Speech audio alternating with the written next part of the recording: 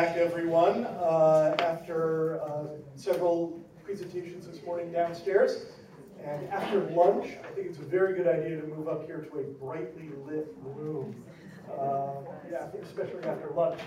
Um, But today, we're very lucky uh, to have something a little bit different for IF4. And we have, uh. Nichole Saad is here from the Wikimedia Foundation. And after her work, I have to read it off because it's too long for me to remember. After uh, completing uh, her uh, MA at George Washington University in International Education, focusing on teacher professional development, education technology, international development, and education in emergencies, uh, Nichole has worked with uh, UNESCO and Ministries of Education in Malaysia, correct? And she's now with the Wikimedia Foundation and is joining us here from San Francisco. Uh, I'm especially excited about today's workshop.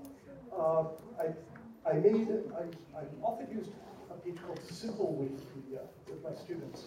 So I went and looked up, I made my first edit there on September 19th, 2010 and I've made a total of 7,931 edits on that wiki. So I used to think I was kind of a Wikipedia geek, but I know absolutely nothing about the Wikipedia education programs. I'm very excited to hear about that, and please welcome Nichole Saad for our featured workshop.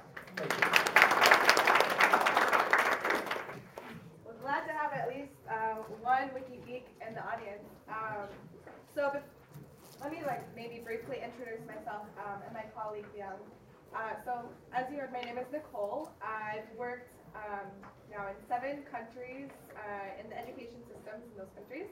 Um, before starting my work at the Wikimedia Foundation, I worked for UNESCO in Amman, Jordan, on education programs for Syrian refugees.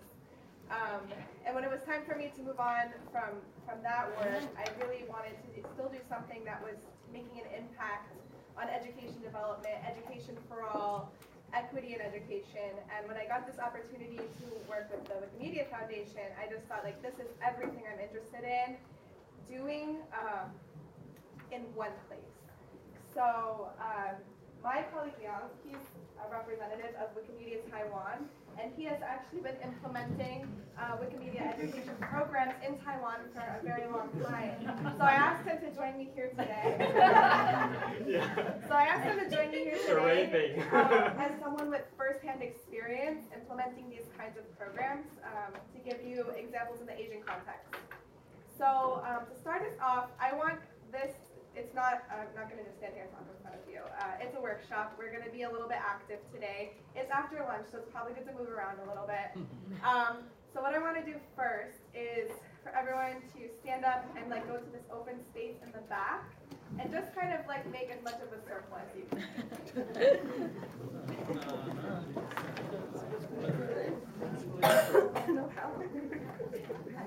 Cool, okay, all you need are your legs. Thank you.